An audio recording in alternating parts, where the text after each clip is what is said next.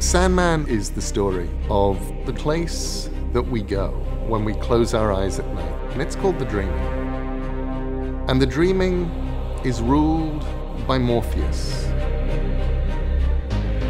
For 32 years, anybody who read Sandman read the comics. That world is ending.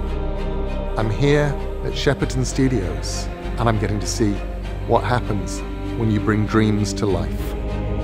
I'm someone who is a, an obsessive Sandman fan. It's an awesome responsibility because it's something that is so beloved. I read the Sandman graphic novels, so I knew that I simply had to be involved in this project because something truly unique was going to happen. The sets are vast, great amount of detail and care has been put into how it's being brought to life. Holy shit. This is amazing. We're in the Undercroft.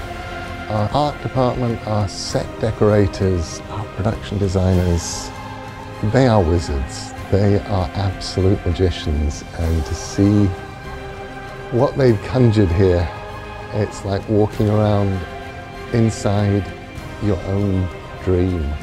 This is Sandman being made for people who love Sandman by people who love Sandman.